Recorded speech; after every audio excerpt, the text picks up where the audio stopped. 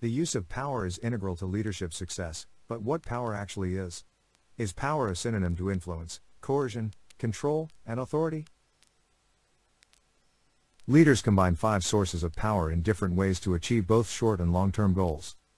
Noted social psychologists John R. P. French and Bertram Raven conducted a study in 1959 and concluded that power can be divided into five different forms. In this video we will cover five types of power and how to use them as a leader.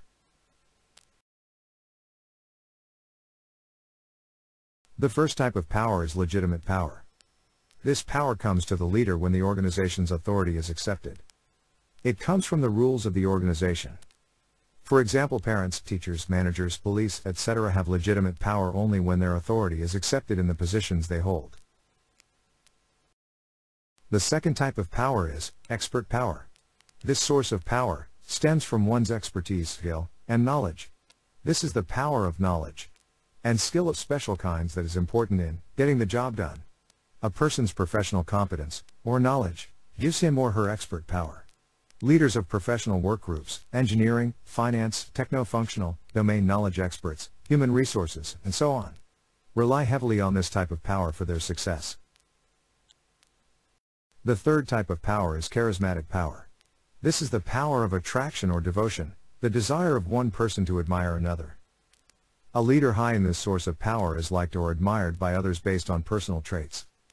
This power drives the subordinate to understand and value the leader so much, that one understands, and acts according to the expectations of the boss or the leader. It helps one to act as one's own boss and behave in ways one thinks the boss will want. Fourth type of power is reward power. This power is the present or potential ability to reward for worthy behavior. This power is, based on the leader's ability to provide rewards, real or intrinsic. The superior or the leader has the power to give tangible rewards such as promotion, office space, time off from work, attractive work assignments, and help to the subordinate. Also, psychological rewards, like praise, appreciation, approval, and recognition can be given by the leader or the superior, to the subordinate. The subordinate has to believe that the leader has access to higher authorities, therefore, the leader can give rewards. This reward power of the leader can also increase the leader's charismatic and legitimate power. In organizations, rewards are often positive incentives, such as pay, promotion, or recognition. The last type of power is coercive power or punishment power. This is the ability to threaten or punish. This power is based on fear of the leader. The leader has the authority to control potential punishments, like undesirable work assignments, reprimands, or dismissal. There will always be circumstances in an organization when a leader needs to exercise some form of coercive power in difficult situations. The leader can give tangible punishment, like dismissal, demotion, low rating, less satisfying work assignments, etc. He may also give psychological punishments, like criticism, avoidance, disapproval, or satirical remarks, etc. on the subordinate. The reward power helps to avoid something undesirable.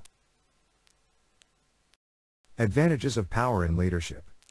One of the most important tasks of the manager is to get work done to meet organizational goals by motivating employees.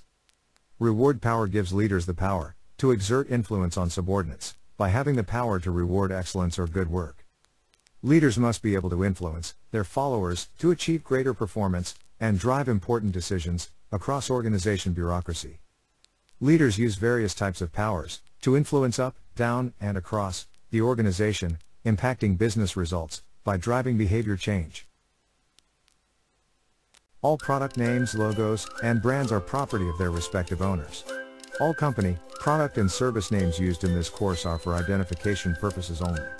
Use of these names, logos, and brands does not imply endorsement.